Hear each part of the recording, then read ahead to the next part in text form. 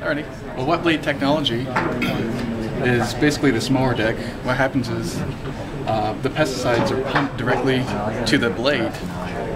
And as you can see in this picture, well, you can't really tell that well, but there's a hole here, and the pesticide squirts out of the hole, coating this blade, which where the namesake is, the wet blade. And what this does is, as it's mowing, it'll cut the stem, and the pesticide on the blade will paint or brush on the stem, only affecting these uh, particular species that we're concerned with.